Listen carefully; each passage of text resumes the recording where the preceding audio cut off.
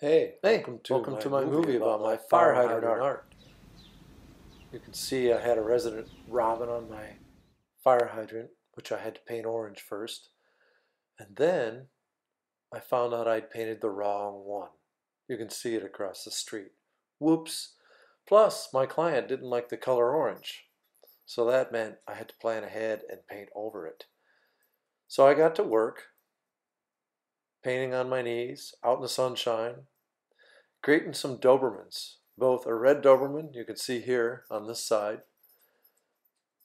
and then a little more detail. His nose was pink. Then I moved to the side for the pause that refreshes and started covering up the orange, and then created the black Doberman with his full nose on the other side. You can see they were coming out pretty well together.